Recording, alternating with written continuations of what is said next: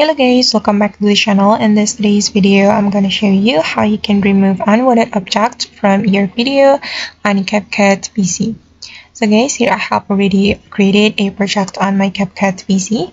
And for example, we're going to remove this apple from this video. So the first thing we're going to do is duplicating this clip. So we can right click on the clip, then click on copy, and we can right click again, then click on paste. Now, as you can see that this clip has been duplicated as an overlay and we're going to go to the mask option right here. Tap on the mask option, then you're going to select the circle mask. Okay, and we're going to cover this apple with this mask so we can take another part of the video to cover the apple. So I'm going to select this part then after that we can click on basic. Then we can drag the mask to cover the unwanted object. Okay you can adjust the position until it looks natural.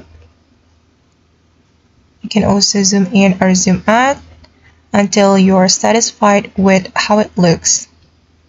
Okay and I think it's perfect and alright guys, that's how you can remove unwanted object from video on CapCut PC.